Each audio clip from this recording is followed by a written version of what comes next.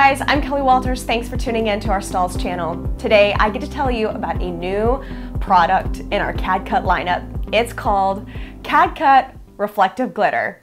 Now this product is pretty cool and unique because it gives you a high gloss finish with a brilliant shine. Now this is in fact a reflective product, so you will have reflectivity once any type of light hits it, whether it be the day or the night. Now, I did say glitter, so you will still have that brilliant glitter shine, even though you will have a very smooth hand. Now, with the reflectivity, you will have a little bit of color shifting, and that doesn't mean color shifting on the product due to the garment, it will be specifically due to the light. Now, you might have something like this bright purple, or even this really bright green, and it may show up a little more of a silver hue once the light hits it. You will have that reflectivity in the night, and of course you'll have a little pop during the day. Now, there are 12 really fun colors in this lineup, including a wonderful rainbow glitter, which we are going to be using today. Now, this product applies at 300 degrees, so it's still very, very low, but keep in mind there's no stretch and rebound to this. So when you're choosing the garments that you want to use for our CAD-CUT reflective glitter, keep in mind that a very lightweight garment might feel like it has a little bit of um, heaviness when you're putting a specific logo on it. Now, the stretch and rebound means that it won't snap back if it has been stretched, but you will still have that really smooth hand on a garment. So up first, we are going to cut weed and then we will apply to a tote bag and check out the final look.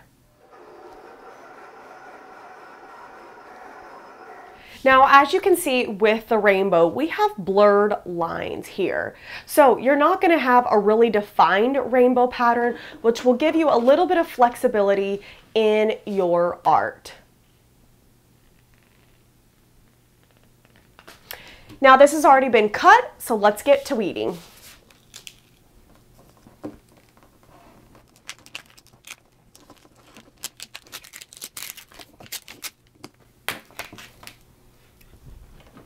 Now today we are using a tote bag and we have a pillow inside of the middle just because we didn't change out our platens and we want to make sure that our seams are off of the platen.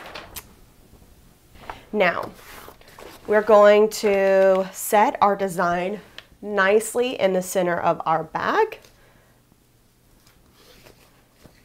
And then I will just turn it sideways since we are using our tag-along platen here. Now, the, like I said, it heat applies for 300 degrees at 15 seconds. It is a cold peel, and you want to be about 45 pounds of pressure.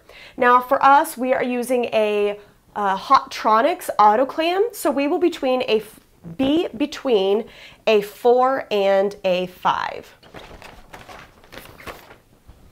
and the full 15 seconds.